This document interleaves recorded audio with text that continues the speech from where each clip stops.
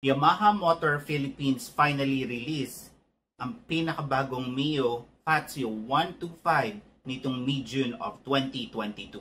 Kaya ating pag-usapan ang specs and features ng motor na ito at kung dapat ba talagang pag-ipunan ng mga taong mahilig sa retro scoots. Tara mga igan, samahan niyo ako sa video kong ito.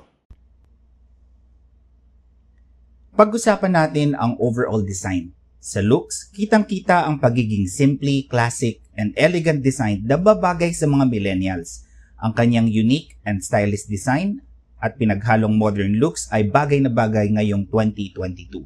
Meron itong oval LED headlight design in a modern retro look sa front at dalawang oval signal light na matatagpuan sa front body panel. Meron din itong fashionable tail light design na ipinaris sa kanyang overall headlight and signal light.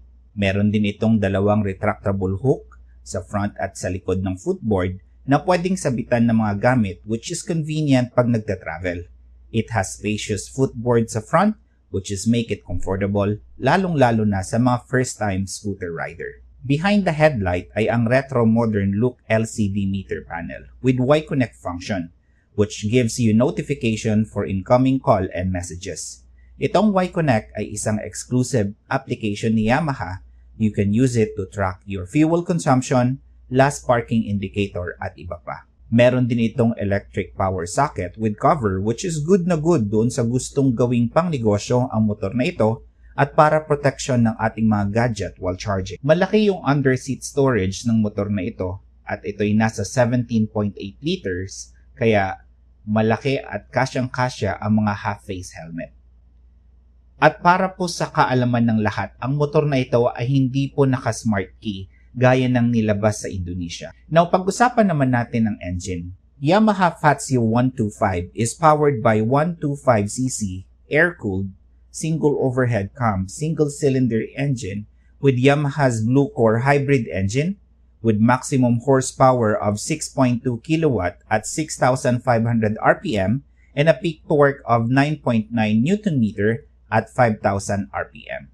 Wala po itong kickstarter kaya mapapaandar lang ang motor na ito sa pamamagitan ng electric starter.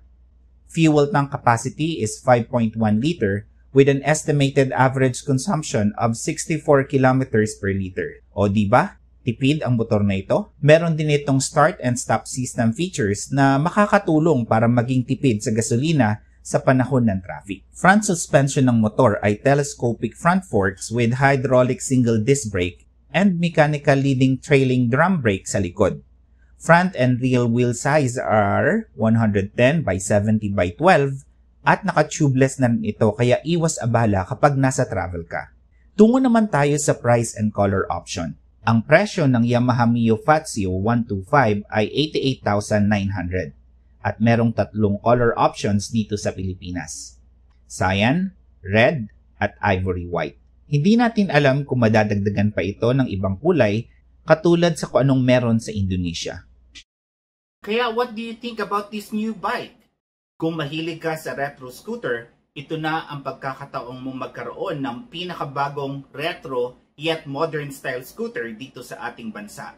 At kung bago ka pa lang sa channel ko at gusto mo ng mga ganitong content, please don't forget to like and subscribe to my channel para updated ka sa mga videos na aking inilalabas. At don't forget to click ang notification bell para unang-una kang makakaalam kung meron akong bagong video na i-upload sa aking channel. Until my next vlog, maraming salamat at ingat po kayo, Igan.